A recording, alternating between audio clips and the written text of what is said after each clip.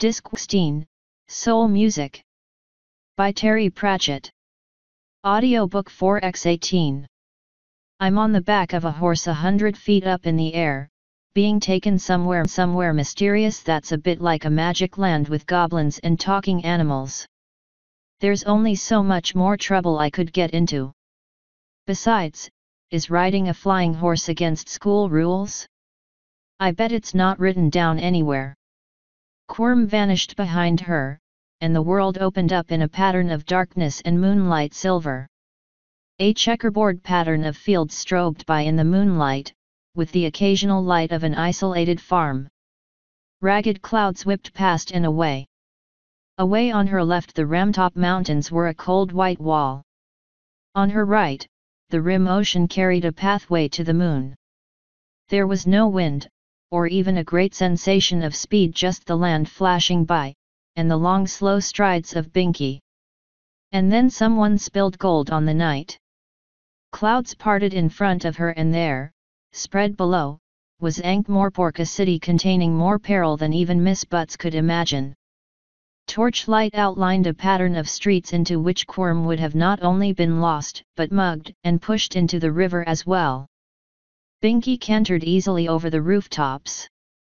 Susan could hear the sounds of the streets, even individual voices, but there was also the great roar of the city, like some kind of insect hive. Upper windows drifted by, each one a glow of candlelight. The horse dropped through the smoky air and landed neatly and at the trot in an alley, which was otherwise empty except for a closed door and a sign with a torch over it. Susan Reed. Curry Gardens Kitchrin Entlands keep out. RIS means you. Binky seemed to be waiting for something. Susan had expected a more exotic destination. She knew about curry. They had curry at school, under the name of bogey and rice. It was yellow. There were soggy raisins and peas in it. Binky whinnied, and stamped a hoof. A hatch in the door flew open. Susan got a brief impression of a face against the fiery atmosphere of the kitchen. Durver, Norver. Binkorver. The hatch slammed shut again. Obviously something was meant to happen. She stared at a menu nailed to the wall. It was misspelled, of course, because the menu of the folkier kind of restaurant always has to have misspellings in it, so that customers can be lured into a false sense of superiority. She couldn't recognize the names of most of the dishes, which included curry with vegetable 8p curry with sweat, and sore balls of pig 10p curry with swear and sour, ball of fish 10p curry with meat 10p curry with named meat 15p extra curry 5p porn cracker 4p eat it here or, take it away the hatch snapped open again and a large brown bag of allegedly but not really waterproof paper was dumped on the little ledge in front of it. Then the hatch slammed shut again. Susan reached out carefully. The smell rising from the bag had a sort of thermic lance quality that warned against metal cutlery. But tea had been a long time ago. She realized she didn't have any money on her. On the other hand, no one had asked her for any. But the world would go to rack and ruin if people didn't recognize their responsibilities. She leaned forward and knocked on the door Excuse me, don't you want anything? There was shouting and a crash from inside, as if half a dozen people were fighting to get under the same table. Oh! How nice! Thank you! Thank you very much, said Susan, politely. Binky walked away, slowly. This time there was no bunched leap of muscle power he trotted into the air carefully, as if sometime in the past he'd been scolded for spilling something. Susan tried the curry several hundred feet above the speeding landscape, and then threw it away as politely as possible. It was very, unusual, she said. And that's it. You carried me all the way up here for takeaway food. The ground schemed past faster, and it crept over her that the horse was going a lot faster now, a full gallop instead of the easy canter. A bunching of muscle. And then the sky ahead of her erupted blue for a moment. Behind her, unseen because light was standing around red with embarrassment, asking itself what had happened, a pair of hoof prints burned in the air for a moment and then faded. It was a landscape, hanging in space. There was a squat little house, with a garden around it. There were fields, and distant mountains. Susan stared at it as Binky slowed. There was no depth. As the horse swung around for a landing, the landscape was revealed as a mere surface, a thin-shaped film of existence, imposed on nothingness. She expected it to tear when the horse landed, but there was only a faint crunch and a scatter of gravel. Binky trotted around the house and into the stable yard, where he stood and waited. Susan got off, gingerly. The ground felt solid enough under her feet. She reached down and scratched at the gravel, there was more gravel underneath. She'd heard that the tooth fairy collected teeth. Think about it logically, the only other people who collected any bits of bodies did so for very suspicious purposes, and usually to harm or control other people. The tooth fairies must have half the children in the world under their control. And this didn't look like the house of that sort of person. The hog father apparently lived in some kind of horrible slaughterhouse in the mountains, festooned with sausages and black puddings and painted a terrible blood red. Which suggested style. A nasty style, but at least style of a sort. This place didn't have style of any sort. The Soul Cake Tuesday Duck didn't apparently have any kind of a home. Nor did Old Man Trouble or the Sandman, as far as she knew.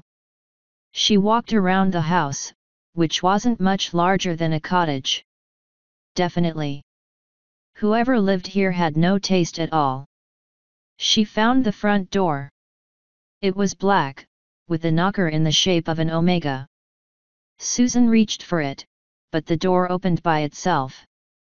And the hall stretched away in front of her, far bigger than the outside of the house could possibly contain. She could distantly make out a stairway wide enough for the tap dancing finale in a musical. There was something else wrong with the perspective.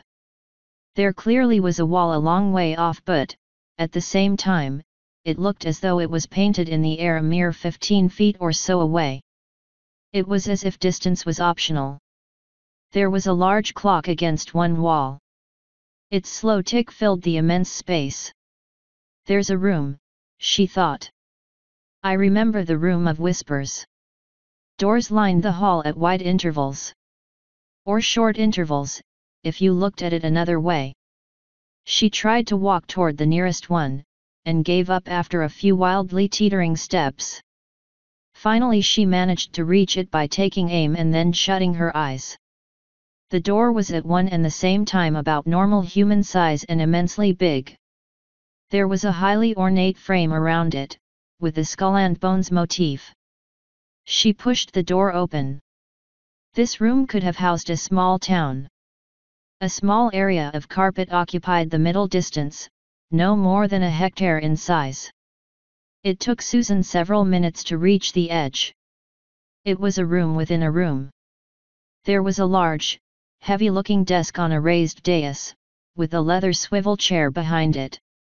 There was a large model of the Discworld, on a sort of ornament made of four elephants standing on the shell of a turtle. There were several bookshelves, the large volumes piled in the haphazard fashion of people who are far too busy using the books ever to arrange them properly. There was even a window, hanging in the air a few feet above the ground. But there were no walls. There was nothing between the edge of the carpet and the walls of the greater room except floor, and even that was far too precise a word for it. It didn't look like rock and it certainly wasn't wood. It made no sound when Susan walked on it. It was simply surface, in the purely geometrical sense. The carpet had a skull and bones pattern. It was also black. Everything was black, or a shade of grey. Here and there a tint suggested a very deep purple or ocean depth blue. In the distance, toward the walls of the greater room, the meta room, or whatever it was, there was the suggestion of something. Something was casting complicated shadows, too far away to be clearly seen. Susan got up onto the dais. There was something odd about the things around her. Of course, there was everything odd about the things around her, but it was a huge major oddness that was simply in their nature. She could ignore it. But there was an oddness on a human level. Everything was just slightly wrong, as if it had been made by someone who hadn't fully comprehended its purpose. There was a blotter on the oversized desk but it was part of it, fused to the surface. The drawers were just raised areas of wood, impossible to open. Whoever had made the desk had seen desks, but hadn't understood deskishness. There was even some sort of desk ornament. It was just a slab of lead, with the thread hanging down one side and a shiny round metal ball on the end of the thread. If you raised the ball it swung down and thumped into the lead, just once. She didn't try to sit in the chair. There was a deep pit in the leather. Someone had spent a lot of time sitting there. She glanced at the spines of the books. They were in a language she couldn't understand. She trekked back to the distant door, went out into the hall, and tried the next door. A suspicion was beginning to form in her mind. The door led to another huge room, but this one was full of shelves, floor to distant, cloud-hung ceiling. Every shelf was lined with hourglasses. The sand pouring from the past to the future filled the room with a sound like surf, a noise made up of a billion small sounds. Susan walked between the shelves. It was like being in a crowd. Her eye was caught by a movement on a nearby shelf. In most of the hourglasses the falling sand was a solid silver line but in this one, just as she watched, the line vanished. The last grain of sand tumbled into the bottom bulb. The hourglass vanished, with a small pop. A moment later another one appeared in its place, with the faintest of pings. In front of her eyes, sand began to fall. And she was aware that this process was going on all over the room. Old hourglasses vanished, new ones took their place. She knew about this, too. She reached out and picked up a glass, bit her lip thoughtfully, and started to turn the thing upside down. Squeak! She spun around. The death of rats was on the shelf behind her. It raised an admonitory finger. All right, said Susan.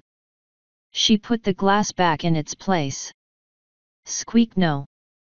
I haven't finished looking. Susan set off for the door, with the rat crittering across the floor after her. The third room turned out to be the bathroom. Susan hesitated. You expected hourglasses in this place. You expected the skull and bones motif. But you didn't expect the very large white porcelain tub, on its own raised podium like a throne, with giant brass taps and in faded blue letters just over the thing that held the plug chain the words C. H. Lavatory and Son, Mollymog St, Ankh Morpork. You didn't expect the rubber duck. It was yellow. You didn't expect the soap. It was suitably bone white, but looked as if it had never been used. Beside it was a bar of orange soap which certainly had been used it was hardly more than a sliver. It smelled a lot like the vicious stuff used at school. The bath, though big, was a human thing. There was brown lined crazing around the plug hole and a stain where the tap had dripped but almost everything else had been designed by the person who hadn't understood deskishness, and now hadn't understood ablutionology either. They had created a towel rail an entire athletics team could have used for training. The black towels on it were fused onto it and were quite hard. Whoever actually used the bathroom probably dried themselves on one white and blue, very worn towel with the initials Y.M.RCIGBSA, AM. On it. There was even a lavatory, another fine example of C. H. Lavatory's porcelainic art, with an embossed frieze of green and blue flowers on the cistern. And again, like the bath and the soap, it suggested that this room had been built by someone, and then someone else had come along afterward to add small details. Someone with a better knowledge of plumbing, for a start. And someone else who understood, really understood, that towels should be soft and capable of drying people, and soap should be capable of bubbles. You didn't expect any of it until you saw it. And then it was like seeing it again. The bald towel dropped off the rail and skipped across the floor, until it fell away to reveal the death of rats. Squeak! Oh, all right, said Susan. Where do you want me to go now? The rat scurried to the open door and disappeared into the hall. Susan followed it to yet another door. She turned yet another handle. Another room within a room lay beyond. There was a tiny area of lit tiling in the darkness, containing the distant vision of a table, a few chairs, a kitchen dresser and someone. A hunched figure was sitting at the table. As Susan cautiously approached she heard the rattle of cutlery on a plate. An old man was eating his supper, very noisily. In between forkfuls, he was talking to himself with his mouth full. It was a kind of auto bad manners. S not my fault. Spray, I was against it from the start but, oh no, he has to go and, recover piece of ballistic sausage from table, start gettin' involved, I told him, is not as if you're not involved, stab unidentified fried object, Oh no, that's not his way, spray, jab fork at the air, once you get involved like that, I said, how are you getting out, tell me that, make temporary egg and ketchup sandwich, but, oh no Susan walked around the patch of carpet. The man took no notice. The death of rats shinned up the table leg and landed on a slice of fried bread. Oh! It's you! Squeak! The old man looked around. Where? Where? Susan stepped onto the carpet. The man stood up so quickly that his chair fell over. Who the hells are you? Could you stop pointing that sharp bacon at me? I asked you a question, young woman. I'm Susan. This didn't sound enough. Duchess of Sto Helit, she added. The man's wrinkled face wrinkled still further as he strove to comprehend this. Then he turned away and threw his hands up in the air. Oh, yes, he bawled, to the room in general. That just puts the entire tin lid on it, that does. He waved a finger at the death of rats, who leaned backward. You cheating little rodent! Oh, yes. I smell a rat here. Squeak! The shaking finger stopped suddenly. The man spun around. How did you manage to walk through the wall? I'm sorry, said Susan, backing away. I didn't know there was one. What do you call this then, Clutch and missed? The man slapped the air. The hippo of memory wallowed. Albert, said Susan. Right. Albert thumped his forehead with the palm of his hand. Worse and worse. What ve you been telling her?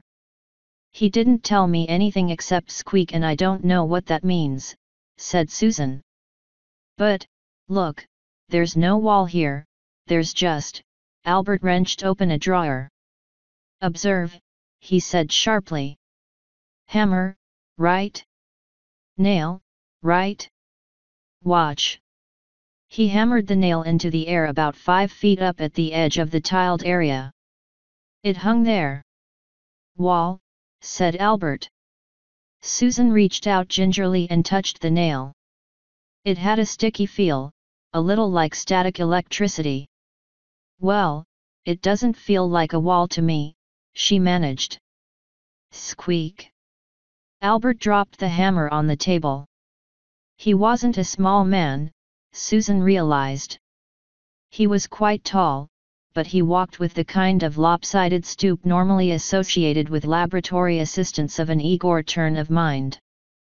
I give in, he said, wagging his finger at Susan again. I told him no good d come of it. He started meddlin', and next thing a mere chit of a girl where'd you go? Susan walked over to the table while Albert waved his arms in the air, trying to find her. There was a cheeseboard on the table, and a snuff box. And a string of sausages. No fresh vegetables at all. Miss Butts advocated avoiding fried foods and eating plenty of vegetables for what she referred to as daily health. She put a lot of troubles down to an absence of daily health. Albert looked like the embodiment of them all as he scuttled around the kitchen, grabbing at the air. She sat in the chair as he danced past. Albert stopped moving, and put his hand over one eye. Then he turned, very carefully. The one visible eye was screwed up in a frantic effort of concentration. He squinted at the chair, his eye watering with effort. That's pretty good, he said, quietly, all right. You're here. The rat and the horse brought you. Damn fool things. They think it's the right thing to do. What right thing to do, said Susan. And I'm not a, what you said. Albert stared at her. The master could do that, he said at last. It's part of the job. I spect you found you could do it a long time ago, eh? Not be noticed when you didn't want to be. Squeak, said the death of rats. What? said Albert. Squeak. He says to tell you, said Albert wearily, that a chit of a girl means a small girl. He thinks you may have misheard me. Susan hunched up in the chair. Albert pulled up another one and sat down. How old are you? Sixteen. Oh, my. Albert rolled his eyes. How long have you been 16? Since I was 15, of course. Are you stupid? My, my, how the time does pass, said Albert. Do you know why you're here? No, but, Susan hesitated, but it's got something to do with, it's something like, I'm seeing things that people don't see, and I've met someone who's just a story, and I know I've been here before, and all these skulls and bones on things, Albert's rangy, vulture-like shape loomed over her. Would you like a cocoa? he said. It was a lot different from the cocoa at the school, which was like hot brown water. Albert's cocoa had fat floating in it, if you turned the mug upside down, it would be a little while before anything fell out. Your mum and dad, said Albert, when she had a chocolate mustache that was far too young for her, did they ever, explain anything to you? Miss Delcross did that in biology, said Susan. She got it wrong, she added. I mean about your grandfather, said Albert. I remember things, said Susan, but I can't remember them until I've seen them. Like the bathroom. Like you. Your mum and dad thought it best if you forgot, said Albert. Ha! It's in the bone. They was afraid it was going to happen and it has. You've inherited. Oh, I know about that, too, said Susan. It's all about mice and beans and things. Albert gave her a blank look. Look, I'll try to put it tactful, he said. Susan gave him a polite look. Your grandfather is death, said Albert. You know? The skeleton in the black robe? You rode in on his horse and this is his house. Only he's, gone away. To think things over, or something. What I reckon's happening is you're being sucked in. It's in the bone. You're old enough now. There's a hole and it thinks you're the right shape. I don't like it any more than you do. Death, said Susan, flatly. Like the Hog Father and the Sandman and the Tooth Fairy. Yes. Squeak. You expect me to believe that, do you? said Susan, trying to summon up her most withering scorn. Albert glared back like someone who'd done all his withering a long time ago. It's no skin off my nose what you believe, madam, he said. You really mean the tall figure with the scythe and everything? Yes. Look, Albert, said Susan, in the voice one's uses to the simple-minded, even if there was a death like that, and frankly it's quite ridiculous to go anthropomorphizing a simple natural function, no one can inherit anything from it. I know about heredity. It's all about having red hair and things. You get it from other people. You don't get it from myths and legends. Um. The death of rats had gravitated to the cheeseboard, where he was using his scythe to hack off a lump. Albert sat back. I remember when you got brought here, he said. He'd kept on asking, you see. He was curious. He likes kids. Sees a lot of them really, but, not to get to know, if you see what I mean. Your mum and dad didn't want to, but they gave in and brought you all here for tea one day just to keep him quiet. They didn't like to do it because they thought you'd be scared and scream the place down. But you, you didn't scream. You laughed. Frightened the life out of your dad, that did. They brought you a couple more times when he asked, but then they got scared about what might happen and your dad put his foot down and that was the end of it. He was about the only one who could argue with the master, your dad. You'd have been about four then, I think. Susan raised her hand thoughtfully and touched the pale lines on her cheek. The master said they were raising you according to, Albert sneered, modern methods. Logic. And thinking old stuff is silly. I dunno, I suppose they wanted to keep you away from, ideas like this, I was given a ride on the horse, said Susan, not listening to him. I had a bath in the big bathroom. Soap all over the place, said Albert. His face contorted into something approaching a smile. I could hear the master laughing from here. And he made you a swing, too. Tried to, anyway. No magic or anything. With his actual hands. Susan sat while memories woke and yawned and unfolded in her head. I remember about that bathroom now, she said. It's all coming back to me. Nat, it never went away. It just got papered over. He was no good at plumbing. What does y.m.rcigbsa, am, mean? Young Men's Reformed Cultists of the Ichor God Bel Shamharoth Association, Ankh Morpork, said Albert. It's where I stay if I have to go back down for anything. Soap and such like. But you're not, a young man, said Susan, unable to prevent herself. No one argues, he snapped. And Susan thought that was probably true. There was some kind of wiry strength in Albert, as if his whole body was a knuckle. He can make just about anything, she said, half to herself, but some things he just doesn't understand, and one of them's plumbing. Right. We had to get a plumber from Ankh Morpork, ha, he said he'd might be able to make it a week next Thursday, and you don't say that kind of thing to the master, said Albert.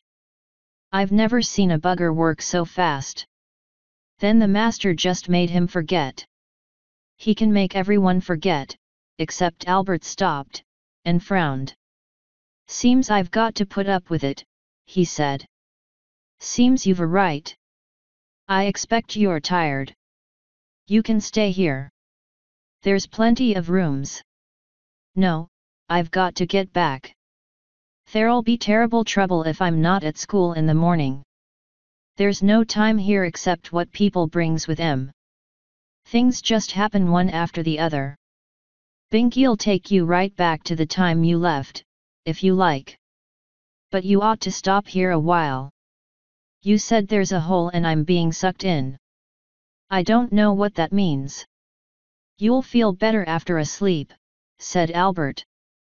There was no real day or night here. That had given Albert trouble at first. There was just the bright landscape and, above, a black sky with stars. Death had never got the hang of day and night. When the house had human inhabitants it tended to keep a 26-hour day. Humans, left to themselves, adopt a longer diurnal rhythm than the 24-hour day, so they can be reset like a lot of little clocks at sunset. Humans have to put up with time, but days are a sort of personal option. Albert went to bed whenever he remembered. Now he sat up, with one candle alight, staring into space. She remembered about the bathroom, he muttered. And she knows about things she couldn't have seen. She couldn't have been told. She's got his memory. She inherited. Squeak, said the death of rats. He liked to sit by the fire at night. Last time he went off people stopped dyin', said Albert. But they ain't stopped dyin' this time. And the horse went to her. She's fillin' the hole. Albert glared at the darkness. When he was agitated it showed by a sort of relentless chewing and sucking activity, as if he was trying to extract some forgotten morsel of tea time from the recesses of a tooth. Now he was making a noise like a hairdresser's U-bend. He couldn't remember ever having been young. It must have happened thousands of years ago. He was 79, but time in Death's house was a reusable resource. He was vaguely aware that childhood was a tricky business, especially toward the end. There was all the business with pimples and bits of your body having a mind of their own. Running the executive arm of mortality was certainly an extra problem. But the point was, the horrible, inescapable point was, that someone had to do it. For, as has been said before, death operated in general rather than particular terms, just like a monarchy. If you are a subject in a monarchy, you are ruled by the monarch. All the time. Waking or sleeping. Whatever you or they happen to be doing. It's part of the general conditions of the situation. The Queen doesn't actually have to come around to your actual house, hog the chair and the TV remote control, and issue actual commands about how one is parched and would enjoy a cup of tea. It all takes place automatically, like gravity. Except that, unlike gravity, it needs someone at the top. They don't necessarily have to do a great deal. They just have to be there. They just have to be. Her, said Albert. Squeak. She'll crack soon enough, said Albert. Oh, yes. You can't be an immortal and immortal at the same time, it'll tear you in half. I almost feel sorry for her. Squeak, agreed the death of rats. And that ain't the worst bit, said Albert. You wait till her memory really starts working, squeak.